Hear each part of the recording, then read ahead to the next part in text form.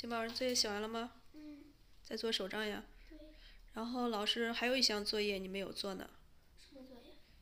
就是让你整理内务，就是叠被子、拍视频，然后上传钉钉上。怎么啦？这种作业呢？本来就是呀。赶紧的。妈，你看我做的。今天又做的。对。哇，好漂亮。越来越好看了，感觉。这是我弄的一个新的呃边框，这我这个我写就是封校了十五天，好难受。好吧，来吧，先把这个作业打卡了，行吗？完了之后再做。我们家静宝以前在四年级的时候叠被子，总是他们宿舍最好的。是的，老师说的。然后随便拿了一个被子。对，拿了一个被子，这是静宝夏天的时候盖的，在学校盖的，然后拿回来了。第一步是先把它怎么着？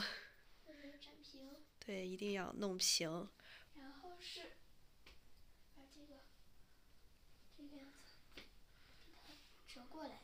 对，折过来。然后妈妈教你一个窍门儿，我们学校说的是外三里六，怎么样才能不被它露出来呢？就是现在静宝叠的这样，中间留有一拃的位置，这样不管你怎么翻，它两边都不会露出来，是不是？对，这个然后放到中间，这个就直接叠过来，完美。对，学校的被子就就是这样叠的。然后那个开口是朝哪儿呢？要看床的位置。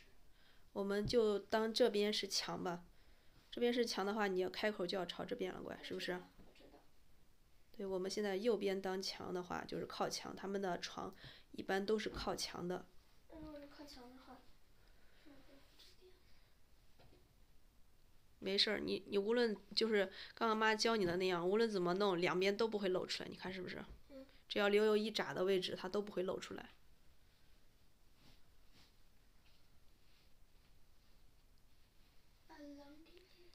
对，先捏棱角。来，我们来这边看一下，看到没？这边是三层，一、一、二、三，这是三层。这边是六层。然后也来看一下这边，这边也是三层，乖乖，就是按照刚才妈妈那样教你的，它也是三层，知道吧？然后它就露不出来了，不管你这样弄它，对，两边它都露不出来，都是三层。就是学校说的是外三里六，就是外面的是三层，里面的是六层。但是，呃，如果那样叠的话，那个被子出来特别的窄，特别难看。让金宝给大家弄一下看看，大家是觉得这个样子整齐呢，还是那那个样子整齐？这个像豆腐。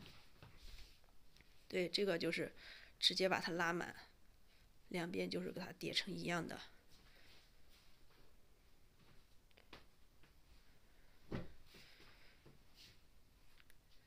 这就是学校规定的，你看，，y 三，我们再看一下这边。嗯，这边就看着比较乱一些了。嗯。我们再来叠一下家庭版的叠法。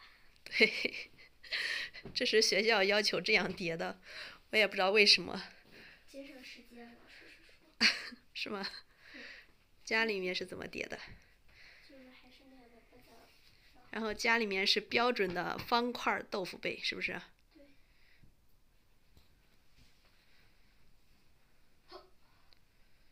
之前是这个样子叠的，后来就改成那个，因为冬天它那个被子太厚了，实在叠不成这个样子。